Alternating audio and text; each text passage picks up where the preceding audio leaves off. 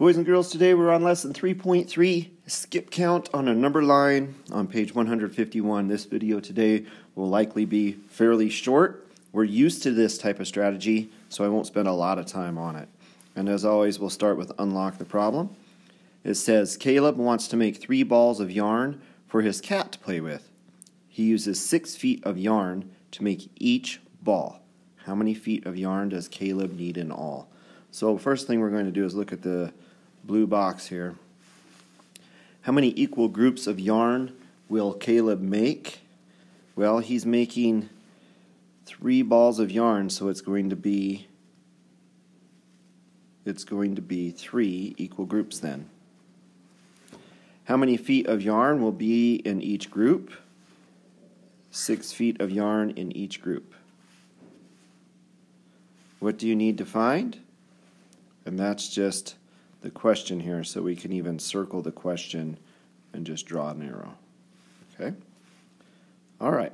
So if you think you're comfortable doing this part on your own, you can pause the video, work through all of this stuff, and then start the video up again to see if your work matches mine.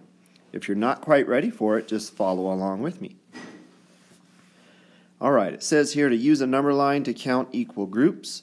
How many feet of yarn does Caleb need for each ball?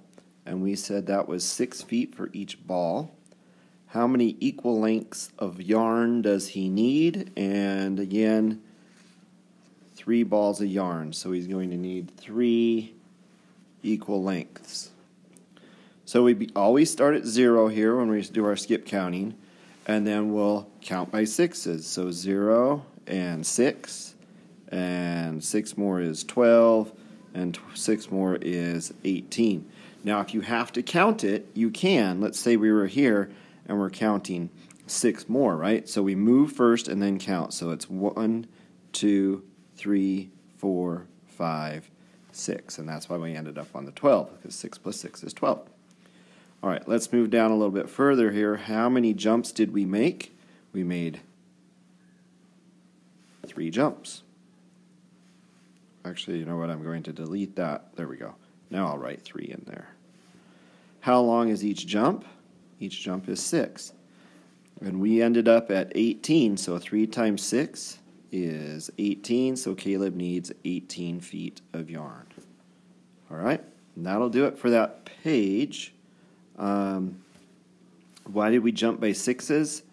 Because he used 6 feet of yarn on each ball right? So I'm going to look at the next page. This is share and show.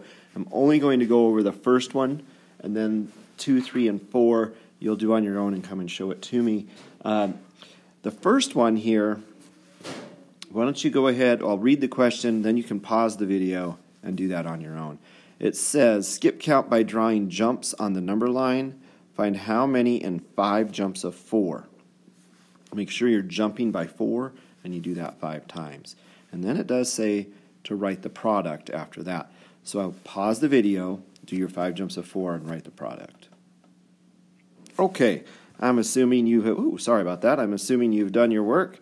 You've done your five jumps of four, and so I'll do that now. We start at zero, count by fours. There's four, eight, 12, 16, and four more is 20. Now, do I have five jumps? There's one, two, three, four. I have my five jumps. So 5 times 4 was 20. So that's what I expect to see from you as you do 2, 3, and 4. Very similar type of work, right? Make sure you draw the right number of jumps, jump by the right amount, and write the product for the multiplication page. But boys and girls, that's all I have for you today on the video.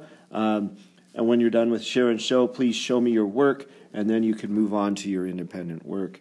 As always, this is Mr. P, and I am out.